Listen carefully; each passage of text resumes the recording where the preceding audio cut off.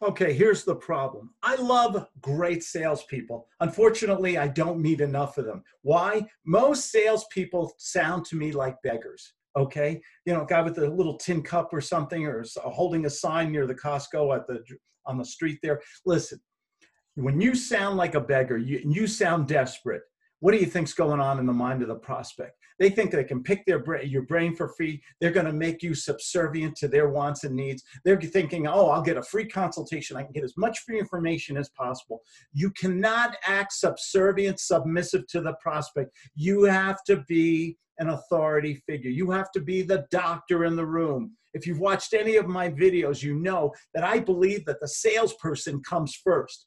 This is a radical difference in sales techniques. Uh, all of your all of my competitors are always saying, give the prospect what they want, the customer comes first. You know what? If you act subservient or submissive, if you don't act like you're an authority figure, if you don't act like you're the busiest person in the world and you have a million dollars in front of you in your pocket or on your desk, they are going to take advantage and show very little respect from you. You have to play a role in sales. That role is that you're not a beggar. You're an authority figure. You are a true professional. We say we're professionals, but do we ever, do we really act like that? When we're making our cold calls, warm calls, follow up calls, one of the key rules in my new book, the GUTS Sales Method Rules. See how I slid that in there? This is going to be in an audio version very soon, too. Check it out on my webpage.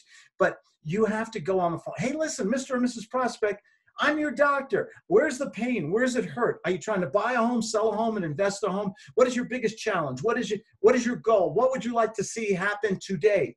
Would you if I made you an offer today, price or terms? Could and i sent you a contract. Could you get back to me at 4.30 today? I'm very busy. I have many other properties i'm looking at. I'm going to make an offer today but i'd much have your i'd much rather do a deal with you on your property. Can we do business today?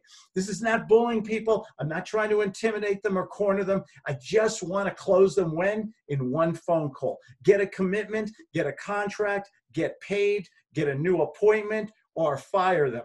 This is gut selling because you've got to go to the bank. What's it all about to make money today? If you're, I know you guys, you're doing business honestly, ethically, you're working hard. God knows you're throwing enough money at enough gurus and books and tapes and everything else.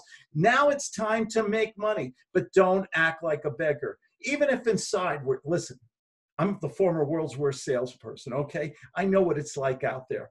And I know that we go in there, we're nervous, we're insecure. That's why you have to learn a sales method and you have to be secure and you have to play a role. Even if inside you got a six-year-old sucking his thumb and holding a blanket and a flashlight on the outside you have to play a role of that authority figure of a professional. We say we're professionals. It's time we start acting that way okay? Look the phone's ringing already with a call when I answer my phone call, I answer like a professional because nobody deserves success more than you.